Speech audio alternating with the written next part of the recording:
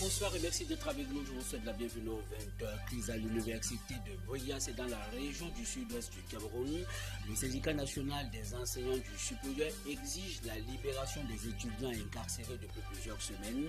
La réunion de crise présidée par le pro-chancellor Maurice Fuente a été marquée par l'absence du recteur de cette université. Baisse des recettes douanières à Campo, c'est une localité située dans le département de l'Océan, région du centre du Cameroun.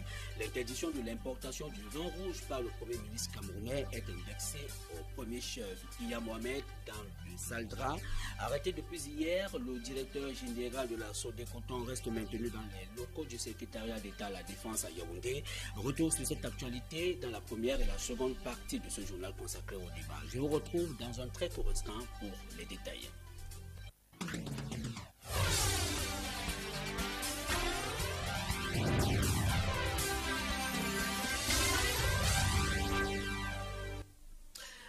Bonsoir une fois de plus, Madame, Monsieur, merci de nous retrouver sur le 20h. Opération épervier au tribunal criminel spécial.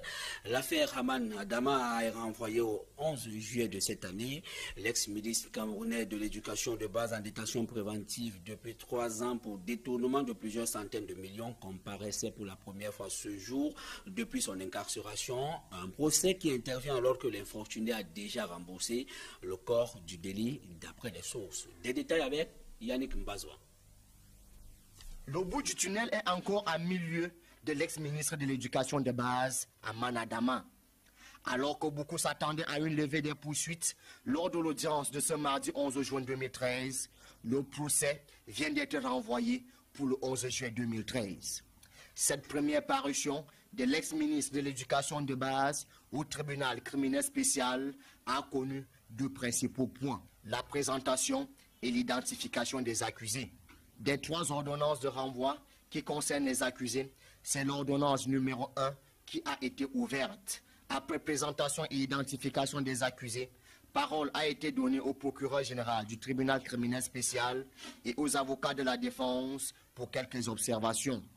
Observations de la défense qui ont tourné autour des dispositions de l'article 18 portant restitution du corps du délit. Pour le collège de la défense d'Aman Adama, le procureur devrait immédiatement mettre en application les dispositions de l'article 18 portant restitution du corps du délit. Surtout, ont observé les avocats de l'ex-ministre de l'Éducation de base que le paiement du corps du délit a été effectué avant la saisine de la juridiction. Du côté du ministère public, cet article 18 n'est qu'une faculté, du moment où aucun délai n'est donné au procureur général pour son application. L'audience a été ainsi renvoyée pour le 11 juillet 2013 pour une mise en état des dossiers et ce du fait qu'un des accusés n'avait pas d'avocat. Notons tout de même que c'est une ex-ministre de l'Éducation de base dans une tenue tissu pagne de couleur rouge foncé, un peu moins amaigrie, qui s'est présentée au tribunal criminel spécial ce mardi 11 juin. Son regard rayonnant et interrogateur affichait tout de même le doute et la tristesse qui l'arrangent. Même le simple sourire qu'elle s'était forcée à afficher devant les membres de sa famille, venus nombreux au tribunal criminel spécial, cachait mal son désespoir. Et pour ce qui est de Iya Mohamed, l'infortuné va certainement passer sa deuxième nuit au secrétariat d'État à la Défense à Yaoundé, où son audition s'est poursuivie ce mardi selon des sources. Une cellule a été aménagée pour le directeur général de la Sodécoton, arrêté depuis hier, même si jusqu'ici rien ne filtre de manière officielle sur les motifs de son interpellation. Les mêmes sources indiquent que l'infortuné est épinglé pour sa gestion de la Sodécoton et pourrait être par la suite présenté au procureur. L'interpellation de Iya Mohamed de la Sodécoton peut-elle compromettre son avenir à la présidence de la Fédération camerounaise de football à la veille de l'Assemblée générale élective annoncée pour le 19 juin de cette année? Les avis d'experts en droit sont partagés sur la question. Jean-Paul Chouniat. À une dizaine de jours de la tenue de l'Assemblée générale élective de la Fédération camerounaise de football, des hommes de droit sont unanimes. La garde à vue de Iya Mohamed, directeur général de la Sodécoton, fait planer des incertitudes sur son avenir à la tête de la FECAFOOT. Dès lors que pour être euh, candidat à la présidence de la FECAFOOT, il faut pouvoir jouir de ses mouvements. Donc un candidat qui est en garde à vue ou bien qui est en détention, euh, je ne vois pas trop comment est-ce qu'il peut jouir de ces mouvements et être capable de se mouvoir pour le compte de, de la fédération. Pour l'homme de la rue, interpellé pour les affaires de l'assaut de coton ou pas, c'est le début de la chute de l'homme fort du football camerounais. Des hommes de loi ne sont pas de cet avis. Ils font prévaloir les articles 118 et 119 du Code de procédure pénale et la présomption d'innocence. Euh, monsieur euh, Mohamed est embastillé, mais il faudrait préciser que ce n'est qu'une garde à vue. Que la garde à vue, c'est une mesure tendant à retenir quelqu'un dans un local de police dans le cadre d'une enquête préliminaire qui, au bout, peut, comment dire, l'objet d'une euh, peine sans, sans suite ou alors d'être déféré. Si certains juristes soutiennent que Ia Mohamed, président sortant de la FECAFOUL, ne pourrait se présenter aux élections, d'autres ont un avis contraire. Les textes de la, la FECAFOOT prévoient effectivement qu'on puisse donner procuration, c'est-à-dire le fait qu'il soit embastillé. Et je le dis, je le précise, il bénéficie de la présomption d'innocence. C'est vrai qu'il y a des gens qui veulent déjà nous condamner Pour des observateurs avertis, nul ne peut pour le moment prédire avec exactitude l'issue de cette affaire. Le directeur général de la Coton est gardé à vue au secrétariat d'État à la Défense. Le contrôle supérieur de l'État a reconnu Ia Mohamed coupable de 20 fautes de gestion qui ont fait perdre à cette entreprise plus de 9 milliards de francs CFA entre 2005 et 2010. Et c'est une évolution malheureuse au sujet de l'accident de l'avion de la société cotonnière tchadienne survenu à Ngaoundéré au Cameroun.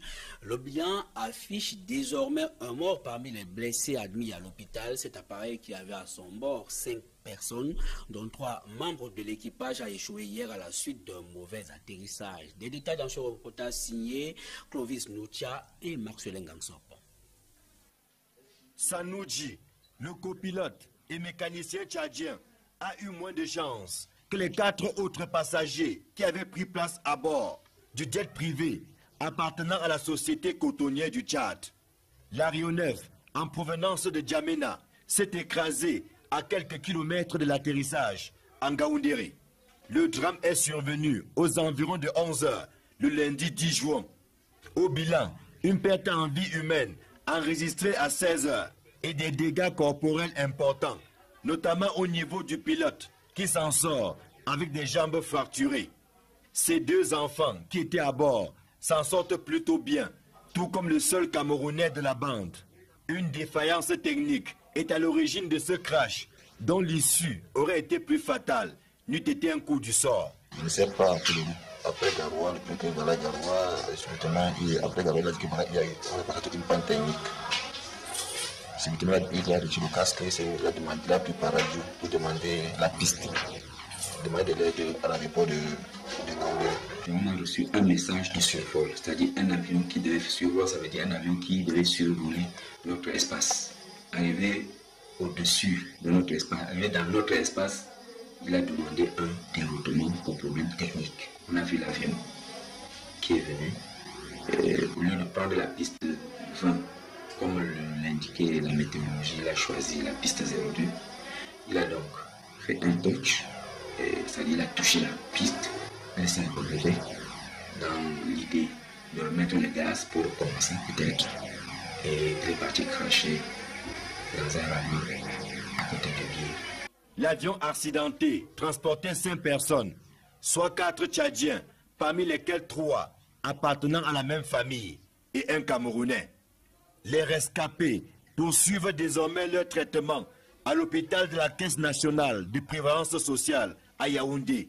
Ils ont d'ailleurs reçu ce mardi la visite de reconfort du patron des transports, Robin Kili. Nous restons dans la région de la Damawa où un jeune homme a été retrouvé mort dans un restaurant en Gaoundéré. La découverte macabre est faite aux environs de 5h30 lundi au marché Bintaï.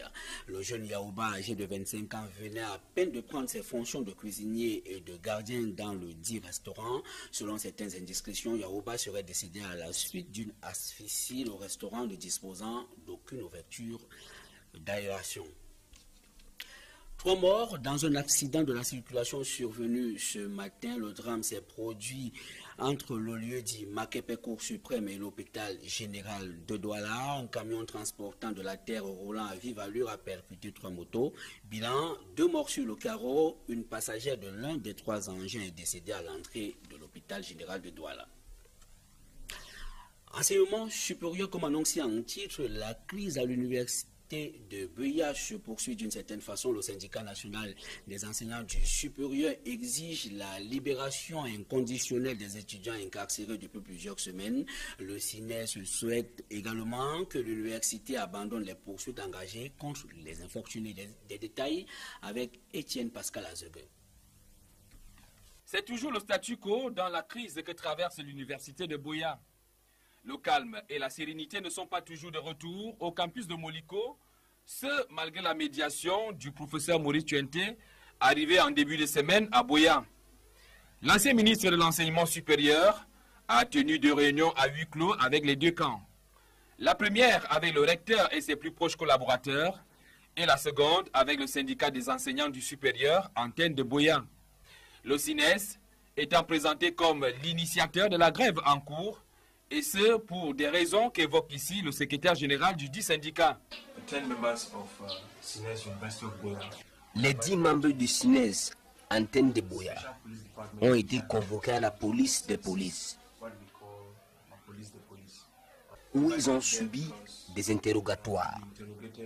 Une convocation qui fait suite à une plainte déposée par la vice-chancellor, qui tient le CINES responsable des troubles effectués sur le campus.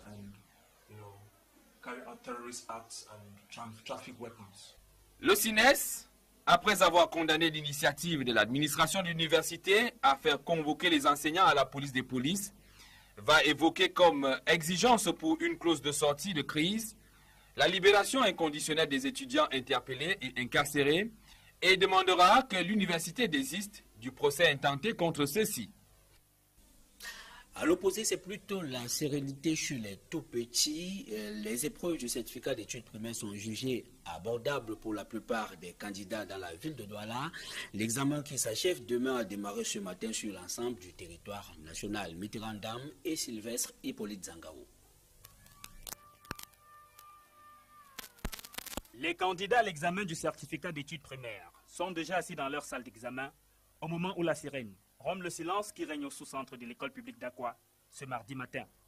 Après les premières épreuves, intervient la dictée, un moment particulier qui nécessite beaucoup de concentration. Les enfants aperçoivent à la lisière du pâturage d'Igueule. À la pause, la plupart des candidats sont plutôt satisfaits de leur travail. Dictée était très facile. Ce n'était pas difficile comme je croyais. Comme je croyais. Même, les, même la science était facile aussi. Seulement que c'était long, mais on n'a pas duré. L'épreuve était facile. Je suis sûr de moi que presque toute la, la classe aura la moyenne dans la dictée. Durant deux jours, ces jeunes élèves vont devoir affronter les différentes épreuves, en se souvenant surtout des leçons apprises pour espérer obtenir leur tout premier diplôme. Et à peine les épreuves engagées, l'avenir est déjà projeté. Quel métier les jeunes élèves souhaitent-ils exercer dans l'avenir? Les rêves sont nombreux, on le voit. Médecins, journalistes, enseignants ou encore président de, de, la République sont les projections les plus souhaitées. Une fois encore, Mitterrand Dam et Sylvestre Hippolyte Zangao. Encore très jeunes, mais déjà les ambitions sont au rendez-vous.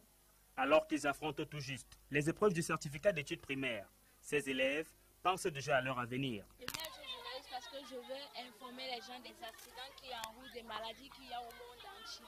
Et pour dénoncer les gens qui font, qui font, qui font du mal aux, aux pauvres gens en route, qui agressent les femmes, les hommes en route et qui violent les enfants chaque jour. Je voudrais être président de la République pour diriger le pays, pour avoir le pouvoir et nourrir ma, ma famille qu'au village. J'aimerais bien être ingénieur. Je veux être enseignant, mais d'abord je dois apprendre avant d'être enseignant pour avoir, pour avoir mon diplôme. Des rêves d'enfants qui ne manquent pas de noblesse. Beaucoup pensent surtout à être utiles à leur prochain. Plus tard, je vais être médecin pour sauver les vies, les soigner. Être médecin, c'est bien. Si personne est malade, ne dit-on souvent pas que c'est dès l'enfance que l'on trace la trajectoire de son avenir, même si d'après des observateurs au Cameroun, au fil des années, il est difficile de faire le pari d'un rêve réalisé. Les difficultés d'accéder au métier dont on a rêvé étant réelles. Toutes choses, concluent ces mêmes observateurs, qui n'enlèvent cependant pas à ces jeunes enfants le droit de nourrir des rêves. Et ça va mal dans les recettes douanières à la frontière Cameroun-Guinée équatoriale à Campo. Ces recettes ont chuté de 73%. Le mauvais état de la route, mais surtout la décision du Premier ministre camerounais interdisant l'importation du vin rouge sont les principales causes. Dans cette partie du pays, nous retrouvons notre reporter Joseph Abena Abena. C'est un maigre marché des vivres qui accueille le visiteur dans cette zone frontalière Cameroun, Guinée équatoriale. Une brouille entre les deux voisins ayant amené les autorités de Campo à interdire la traversée des commerçants camerounais. La construction d'un marché frontalier avait alors été entreprise par la commune de Campo, mais dont les délais de livraison échappent à toute logique de la science des bâtiments. La question de la route qui mène à Campo ou encore la décision du Premier ministre qui interdit l'importation des vins rouges frappe de plein fouet les recettes de la douane qui ont dégringolé de 73%. C'est que le vin constitue plus de 80% de l'activité ici. C'est pour ça que l'activité est relativement en baisse depuis les instructions qui nous ont données en juillet 2012 de notre plus non estampillés ou bien irrégulièrement estampillés sur la place, sur la place Janvier avril 2013, le service a liquidé et recouvré presque comme on voit 8 704 017 francs. Contrairement à l'an passé pour la même période de janvier avril, le service avait déjà liquidé, a eu donc à liquider, à recouvré 31 millions 119 936. Ça revient à une diminution de 73,68%. Cette situation n'est pas seulement préjudiciable aux recettes douanières, mais bien plus. Ces jeunes gens qui trouvaient jadis leur pitance par la manutention ont été réduits au chômage. Et nous restons dans cette partie du pays pour ce cri de détresse des populations du village Akak. C'est un village limitrophe du parc national de Campo dans le département de l'Océan. Les éléphants dévastent impitoyablement leurs plantations. Des plaintes et des lamentations sont chaque fois adressées aux autorités, mais jusqu'ici sans conséquences positives. Une fois encore, Joseph Abena Abena. C'est un véritable calvaire que vivent les populations d'Akak, un village frontalier à la Guinée équatoriale, dans le département de l'océan. Les éléphants sèment la terreur. Cette plantation n'est pas en friche. Elle a tout simplement été dévastée par des éléphants. Comme nous sommes venus de ce côté, c'est par là qu'ils sont entrés dans ce champ et ils se sont rendus compte que l'espace allait jusqu'à derrière nous. Là, ils sont passés par là pour accéder à l'autre à l'autre champ. Donc dans ce champ, on retrouvait les cultures telles que le manioc qui est notre culture mère. Oui, et puis du maïs aussi. Et pratiquement, vous ne voyez plus rien qui ressemble aux tiges de manioc ou de maïs. Ça reste juste un espace vert. Craignant pour leur vie, les femmes préfèrent travailler à la lisière du village et même jusque-là, les récoltes ne sont pas à l'abri. Plusieurs de ces animaux qui attristent nos villages sont protégés pourtant par la législation. Une législation qui ne s'applique qu'aux villageois, pensent les populations. Des gibiers, des espèces à, à protéger comme ils disent. Les crocodiles, les pangolins géants, les sangliers, tout ça on prépare pour voir. Ils sont les premiers à manger. Ça veut dire quoi? Ils doivent nous dire que non, vous ne devrez pas préparer ceci. Incident, deux poids et deux mesures dans ces villages qui côtoient le parc national de Campoman. Les populations, dans leur courroux, exigent des compensations si l'État ne met pas ces animaux en cage. Cinquantenaire de la réunification, Buya dans la région du sud-ouest du Cameroun se dit prêt à accueillir l'événement, un constat fait au cours de la réunion de concertation entre le comité local d'organisation et les élites du sud-ouest. Derek Jactor et Serge Alain Otto. Bernard Okalia Bilay et Peter Mafani Moussongue, l'entente parfaite. Au sortir de la réunion d'évaluation et de préparation des festivités marquant la célébration du cinquantenaire de la réunification du Cameroun le responsable du comité local de suivi et gouverneur de la région du Sud-Ouest, accompagné du représentant des élites de la même région, devaient s'accorder sur l'état d'avancement des chantiers de la réunification du Cameroun. Nous sommes fin prêts à relever les défis pour l'accueil du chef de l'État. L'exécution des principaux projets est en phase terminale. La tribune officielle et les hôtels dont nous attendons les équipements. Le bitumage des principaux axes de la ville se poursuit. Le sénateur Peter Mafani Musonge a quant à lui demandé la participation massive des populations du Sud-Ouest pour cet événement qui se produit une fois tous les 50 ans, parce que les élites ont déjà fait le nécessaire. Les différentes contributions financières ne seront pas versées au gouvernement. Le gouvernement n'en a pas besoin. Avec cet argent, nous nous occuperons des invités qui viendront de divers coins du pays.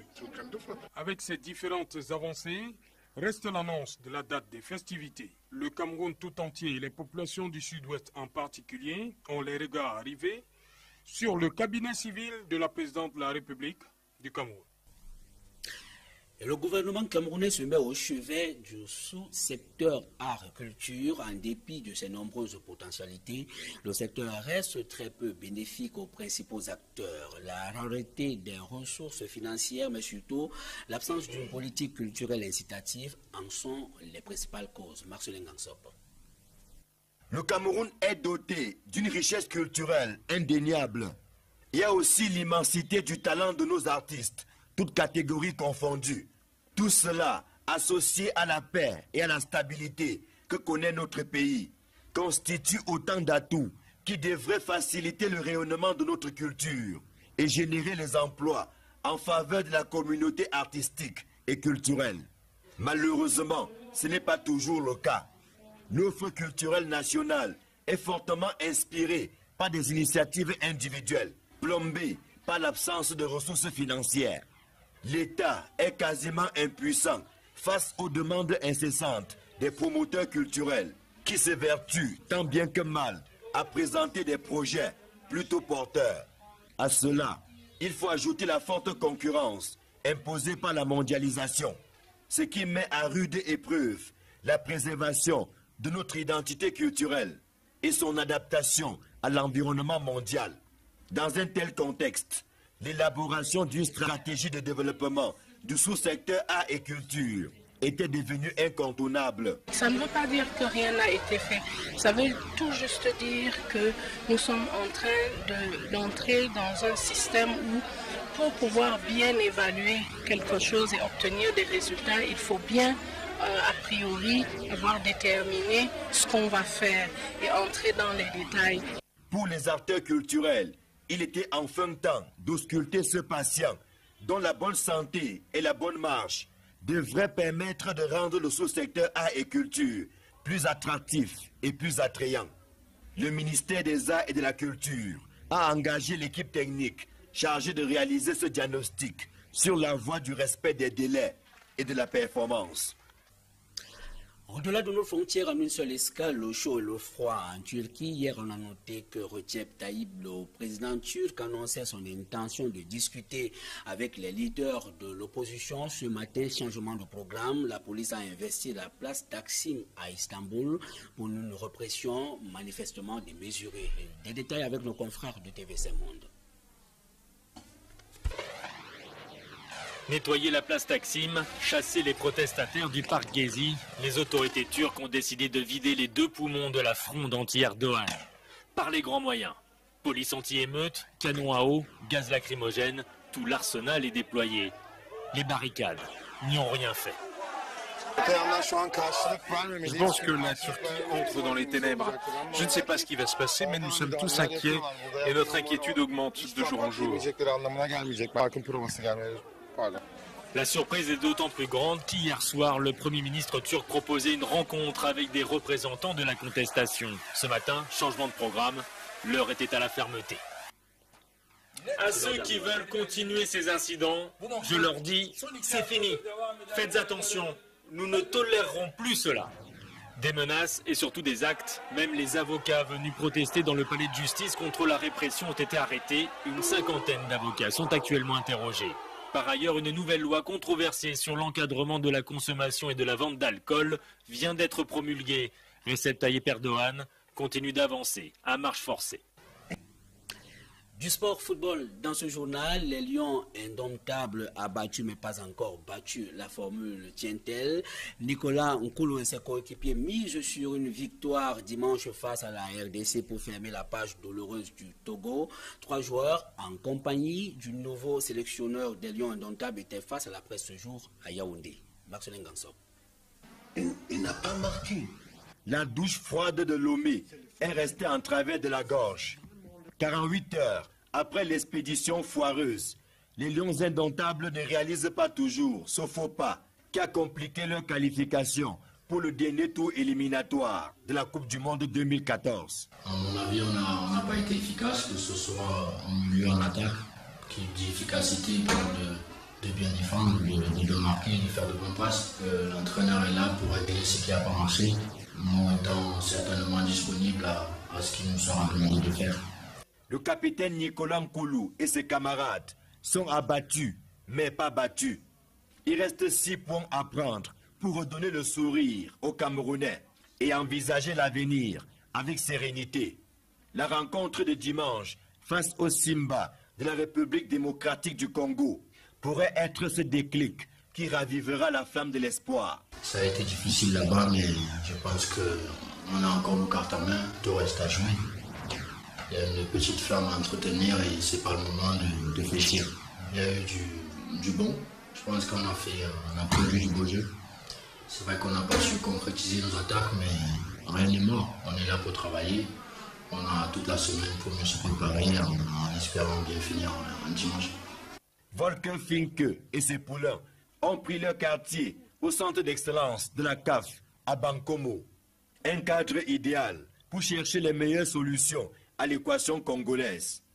Un autre faux pas dimanche achèvera les derniers espoirs des Camerounais de voir le lion au Brésil l'année prochaine. L'enjeu est donc de taille. Elle est désormais tournée la page triste de Lomé.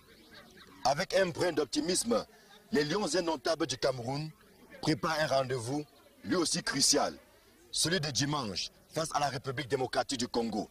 Ici, le centre d'excellence de la CAF à Bankomo, Sal John, Marcelin Gansop, Equinox Télévision.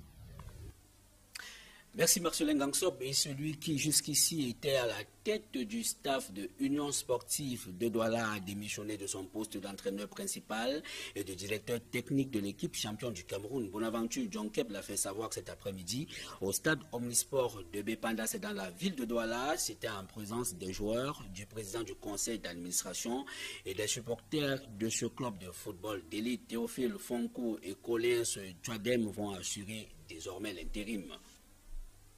Je vous propose dans cet extrait euh, d'écouter le désormais ex-coach de l'Union sportive de Douala, Bonaventure Ndjonkep, s'est exprimé au micro de Raoul Tabofoé. Euh, en football, quand il n'y a pas de résultat, il faut trouver une solution.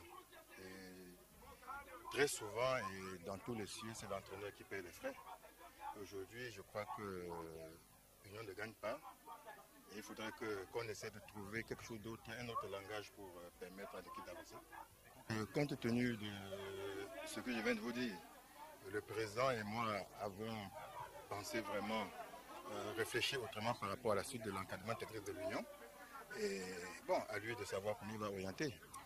Pour moi personnellement, euh, je viens de dire au revoir et je pars tranquille dans ma tête. Je pense que j'ai donné tout ce que j'avais j'ai fait ce que j'ai pu. Ça n'a pas marché et c'est tout simplement dommage. Je ne vais pas euh, revenir sur euh, tous ces détails-là. L'actualité, c'est que je ne suis plus entraîneur de l'Union. Et permettez-moi d'aller. Madame, monsieur, je vous invite à présent à nous retrouver dans la seconde partie de ce journal consacré au débat. C'est juste après l'indicatif.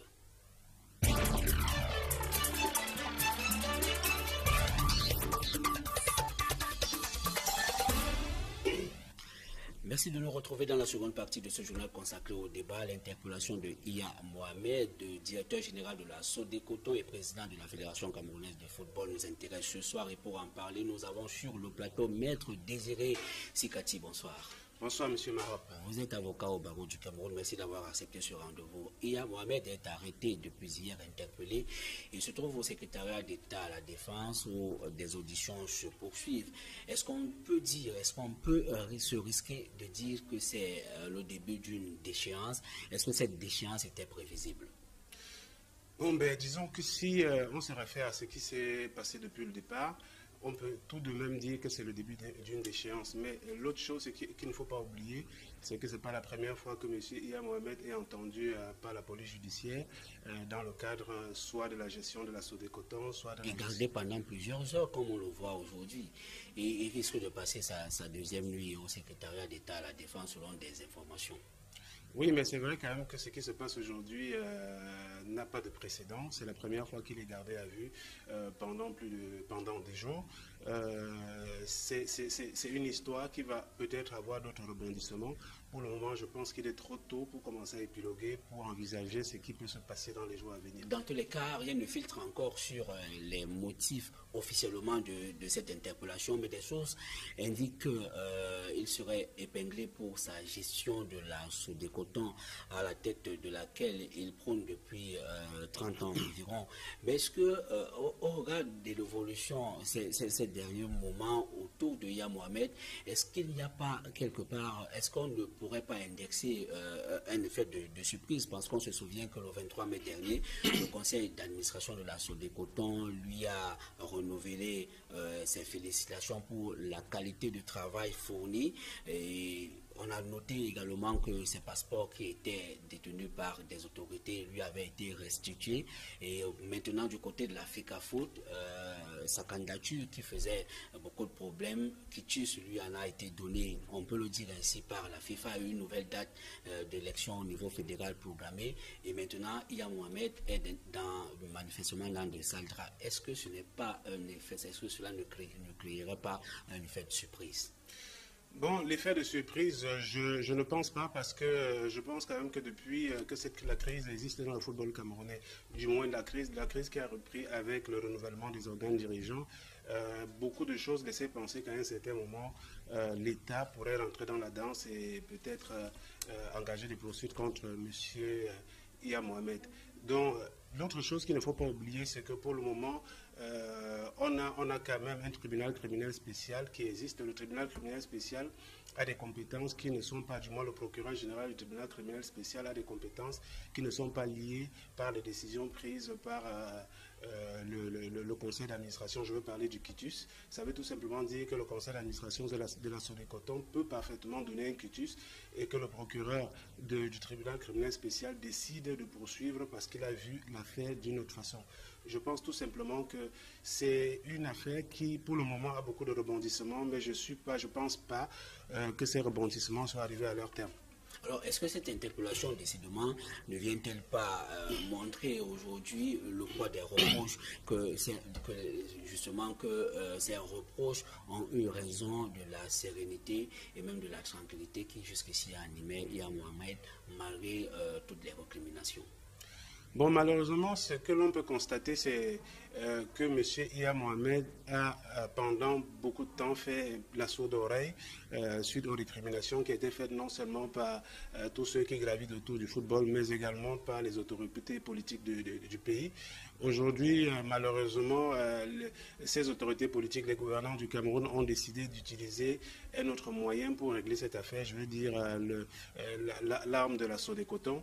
C'est triste, mais je pense que M. Ia Mohamed aurait gagné bien avant à, trouver une véritable porte de sortie, parce qu'à partir du moment où il a décidé euh, d'organiser euh, des élections alors que euh, les dirigeants de la République s'étaient opposés, alors qu'il y avait des décisions du, ministère, du ministère des Sports qui lui demandaient de suspendre les opérations de renouvellement des organes à partir du moment où on a quand même constaté que dans certaines localités de la République, il y a eu un peu comme une sorte de défi qui a été lancé aux autorités administratives. Je pense que M. Iya Mohamed s'est lui-même mis en porte-à-faux avec les dirigeants de la République. Et aujourd'hui, ce qui se passe, c'est que bon, ces dirigeants ont décidé de le rattraper d'une autre façon parce qu'ils savent très bien que s'il faut... Vous avez le sentiment que c'est une cabale non, pas que j'ai le sentiment que c'est une cabale. Disons tout simplement qu'on a décidé, les dirigeants ont constaté qu'il est difficile d'attaquer Iya Mohamed euh, sur le plan de, la gestion du football parce que bon, les textes de la FIFA ne souffrent d'aucune ambiguïté. Il n'est pas possible pour les dirigeants euh, euh, de, notre pays de demander à M. Iya Mohamed de rendre des comptes à partir du moment où la FIFA, la, Foot, c'est une association privée. Mais au demeurant, étant donné que M. Iya Mohamed en plus d'être président de la Fédération camerounaise de football et également directeur général de la Coton. Et je pense que bon, on a voulu lui régler son compte d'une autre façon, mais ça ne veut pourtant pas dire, ça veut pourtant pas dire que même à la Coton, bon, euh, tout ce qui lui est reproché n'est pas fondé. Pour le moment, l'enquête est en train de suivre son cours. Je pense que M. Mohamed, il est présumé innocent. Il a certainement des conseils qui vont l'assister. Et bon, je ne pense pas qu'on puisse dire pour le moment euh, qu'il a été condamné il faut laisser voir le cours de l'enquête. Justement, les, auditions se, poursuivent et pourront euh, s'étendre euh, dans les, prochains jours. Mais aujourd'hui, avec ces ennuis judiciaires euh, contre Ia Mohamed, est-ce que le débat de la validité de sa candidature à l'élection fédérale vaut-il encore?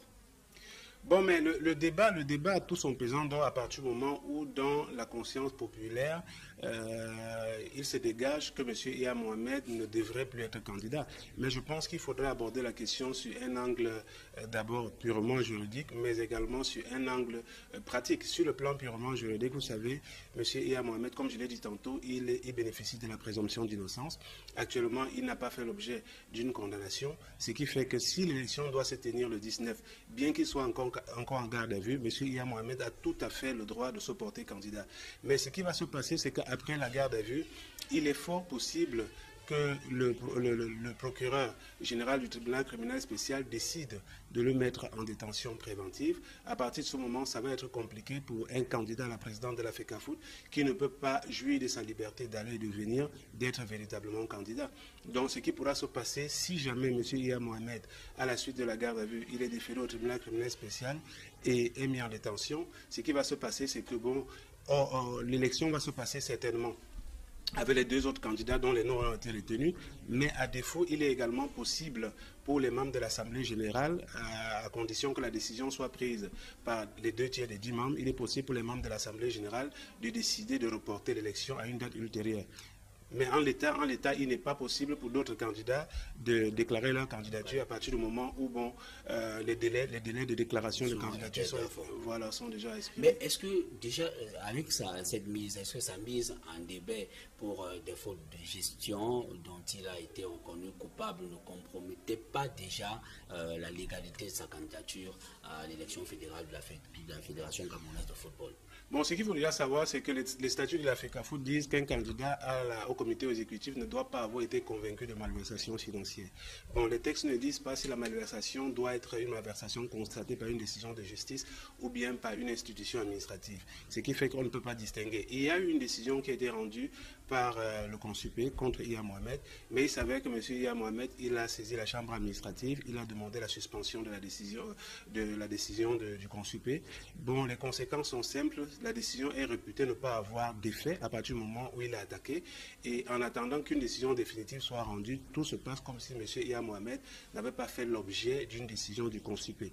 Donc, pour le moment, à partir du moment où il a saisi la chambre administrative, il est tout à fait possible pour lui d'être candidat. Merci Maître Désiré Sikati pour euh, cet éclairage. Merci d'avoir accepté ce plateau. Ah, le plaisir était pour moi de participer à votre émission. Madame, Monsieur, merci de nous avoir suivis. C'est la fin de ce journal. Restez connectés sur les programmes d'Equinox Télévision. Je vous retrouve demain lorsqu'il sera 20h. Bonsoir.